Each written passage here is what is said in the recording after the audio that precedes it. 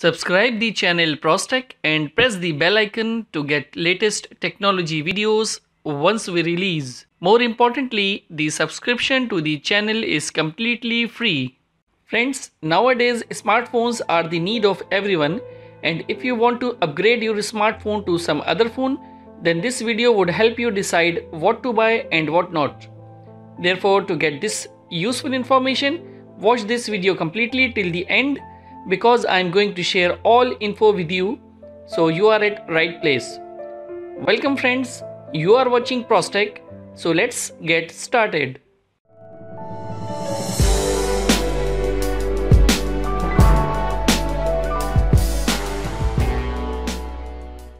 Friends, so starting with the Huawei P20 device, it runs Android 8.1 Oreo and powered by HiSilicon Kirin 970 processor with 2.4 and 1.8 GHz octa-core with GPU Mali G72 MP12. Whereas Xiaomi Redmi Note 5 Pro runs Android 7.1.2 Nougat and powered by Qualcomm Snapdragon 636 processor with octa-core 1.8 GHz and GPU Adreno 509. Moving on to display then Huawei P20 is 5.8 inches device with full HD LTPS IPS LCD display with notch having resolution 2240 by 1080 pixels and 429 ppi pixels density that comes with EMUI 8.1 interface whereas Xiaomi Redmi Note 5 Pro is 5.99 inches device with IPS LCD display having resolution 2160 by 1080 pixels at 403 ppi pixels density and it comes with MIUI 9 user interface. Talking about the internal memory then Huawei P20 is available in 128GB with 4GB RAM but there is no microSD support. Friends, as far as concerned about the colors for this device, then it is produced in twilight, black, midnight blue and pink gold colors. Moving on to Xiaomi Redmi Note 5 Pro comes in 64GB of primary storage with 4 or 6GB RAM. Here in this device, internal storage can also be expanded up to 256GB that uses SIM2 slot. Friends, as far as concerned about this smartphone colors, then it is available in black, champagne gold, rose gold and lake blue colors.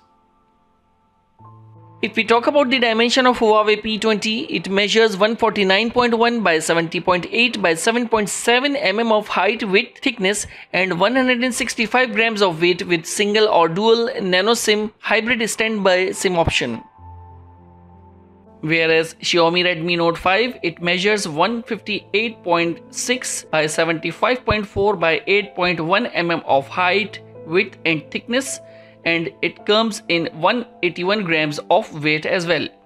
Xiaomi Redmi Note 5 Pro is aluminum body device with front glass. Here in this device you will find hybrid dual nano SIM support as well. About the camera then Huawei P20 comes with 12 megapixels plus 20 megapixels dual primary cameras with 1.8 apertures with face detection, autofocus and LED flash. You can also find geo-tagging touch focus, face detection, HDR and panorama in this device. It shoots out videos of 2160p at 30 frames per second, 1080p at 30 or 60 frames per second and 720p at 960 frames per second. Huawei P20 also equipped with 24 megapixels front camera camera for the selfie shootouts with 720p recording and it is having 2.0 aperture.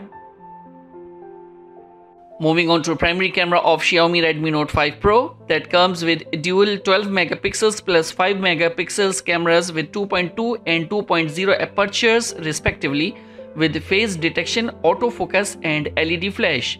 Friends, you can also find geotagging, touch focus, face detection, panorama and HDR. It shot out videos of 1080p at 30 frames per second and also equipped with 20 megapixels secondary camera with 1080p recording and LED flash. Friends, in Huawei P20, fingerprint scanner is placed on the front panel of the phone. It also comes with different sensors like accelerometer, proximity, compass, gyro and color spectrum. This phone comes with Wi-Fi direct, Wi-Fi, hotspot, Bluetooth, GPS, dual band, fast battery charging and Type-C reversible connector. This phone is also powered by 3400 mAh non-removable battery as well. Whereas in Xiaomi Redmi Note 5 Pro, fingerprint scanner is placed on the rear side of the phone. This phone also comes with different sensors like accelerometer, proximity sensor, hall sensor and ambient light sensor. You can also find Wi-Fi dual band, Wi-Fi direct, hotspot, GPS, FM radio, infrared, Bluetooth, fast battery charging with quick charge 2.0 and micro USB 2.0. Xiaomi Redmi Note 5 Pro also powered by a 4000 mAh non-removable battery as well. So that was the quick comparison of both smartphones. You can also check further details in the description below. What do you think about these smartphones? Do let us know in the comments section below. I hope you liked this video and don't forget to give it a thumbs up and subscribe the channel. Thanks for watching.